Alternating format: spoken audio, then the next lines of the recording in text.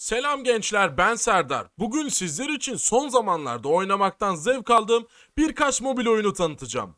Bu listede yer alan birbirinden güzel mobil oyunlardan en az birini bile oynadıysan lütfen yorumlara yazmayı unutma. Bana destek vermek için bu videoyu sosyal medya hesaplarında paylaşabilirsin. Daha fazla videodan haberdar olmak için de kanalıma abone olup bildirimleri açabilirsin. Lafı daha fazla uzatmadan hadi listeye geçelim.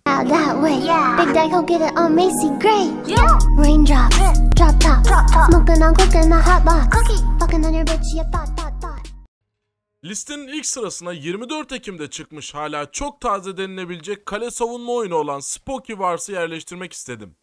Neredeyse çıktığı zamandan bu yana oynuyorum ve gerçekten kale savunması olayını başka bir tarza evirmişler diyebilirim.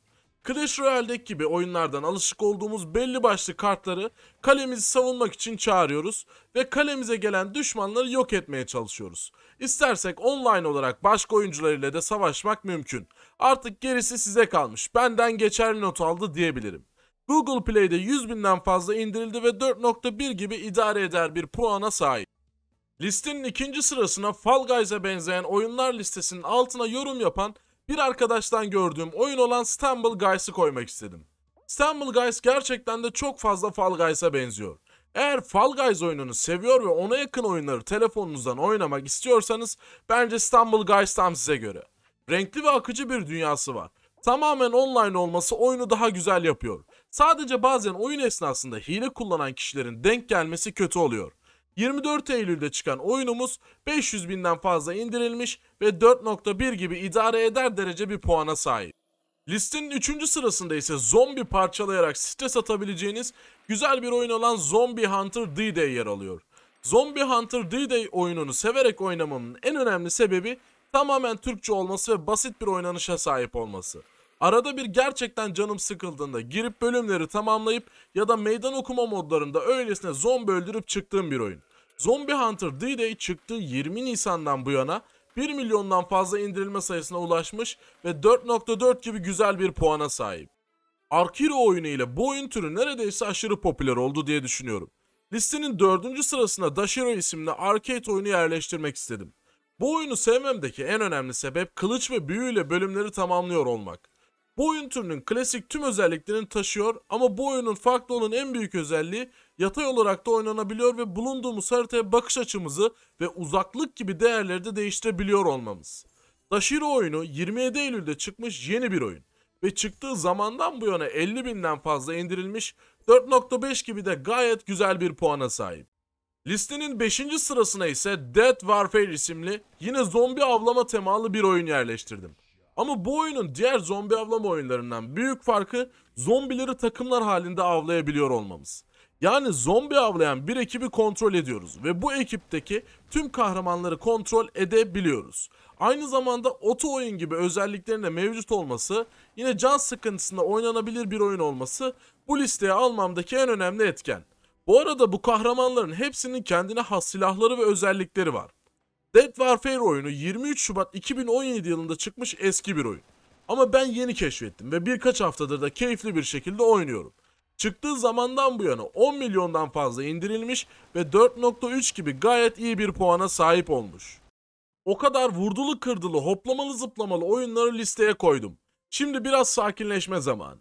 6. sırada yer alan oyun Dragonscapes daha çok ejderhaları konu alan ama çiftlik kurabildiğimiz değirmenler, ocaklar inşa edebildiğimiz yeni nesil bir Farmville diyebilirim. Oyunun akıcı olması ve dolu dolu özellikleri olması oyunu ara sıra girip oynamama neden oldu. Yani telefonda yüklü aklıma geldiğinde bakıyorum, topluyorum, geliştiriyorum, besliyorum. Size de tavsiye edebileceğim stres atmalık güzel bir oyun.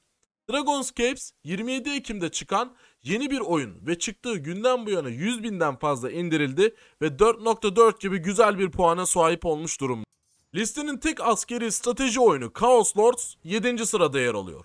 Chaos Lords'ta ordularınızı oluşturup canlı savaşlara katılabileceğiniz güzel tasarlanmış iyi bir oyun. Ordularınızın komutanları sizin özel kahramanlarınız oluyor. Ve bu özel kahramanların savaş esnasında kullanabileceğiniz özel güçleri var. Bu özel güçler gerçekten savaşın gidişatını değiştirmek için yeterli. Türünde tek değil ama ben nedense sevdim. 21 Ağustos 2019 yılında çıkan Chaos Lords 50 bin indirilmeye sahip. Çıktığı yıla göre oldukça düşük bir indirilme sayısı. 4.2 gibi idare eder bir puan ile bence şans verilebilir bir. Listenin 8. sırasında Magatsu yer alıyor. Magatsu oldukça farklı bir oynanışa ve tasarıma sahip sıra tabanlı bir MMORPG oyunu. Zaten benim MMORPG oyunlarını sevdiğimi birçok kişi bilir. Bu oyunun oynanışı ve daha sonrasında yer alan şehir tasarımı hoşuma gittiği için oynadım. Ve oynamaya da devam ediyorum. Oyunda farklı sınıflardan birini seçerek başlıyorsunuz. Ve oyunda ana temel etken saldırı yapacağınız yetenekleri elde etmek. 27 Ekim tarihinde çıkan Magatsu oldukça yeni bir oyun. 5000 gibi düşük bir indirilme sayısına sahip ve 4.4 gibi iyi bir puana da şimdilik elinde bulundu. Listenin 9. sırasına da bir motocross oyunu olan Trail Extreme 4 Remastered'i koymak istedim. Yeniden tasarlanan ve diğer türlerine göre bir tık daha basit olan versiyonu gibi düşünebilirsiniz. Bir de reklamlı versiyonu gibi. Oyunda karşınıza reklamların çıkması dışında neredeyse her şey oldukça eğlenceli. Ama birazcık kıvrak ve refleksli davranmanız gerek. Yoksa defalarca kaza yapıp yeniden oynamanız kaçınılmaz. Real Extreme 4 Remastered TapTap'te 8.4 binden fazla indirilmiş. Ve en popüler 18. oyun olmuş. Tabii ki kendi türünde. Şu an için Google Play'de erken erişim olarak oynanabilir durumda. Listenin son oyunu da Trooper Shooter. Bu oyun online veya multiplayer olarak oynanabilen TPS oyunu. Ama oyunun beni çeken tarafı ise eğlenceli tasarımı, akıcı arayüzü ve oynanışı oldu. Aynı zamanda farklı özelliklere ve silahlara sahip ajanlar ile oyun oynayabilmek oldukça güzel. Yani zaman öldürmek için de hard oynamak için de bence güzel bir oyun.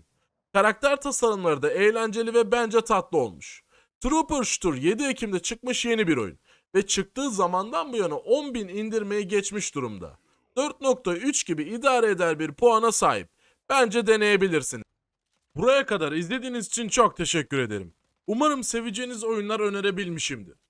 Buna benzer mobil oyun listelerinin daha sık gelmesi için lütfen bu videoyu beğenmeyi ve yorum yapmayı unutmayın. Bana destek vermek isterseniz ilk önce sizin için yaptığım bu güzel videoları sosyal medya hesaplarınızda paylaşarak başlayabilirsiniz. Daha sonra da abone olup bildirimleri açarsanız çok sevinirim. Bir başka videoda görüşmek üzere. Kendinize iyi bakın.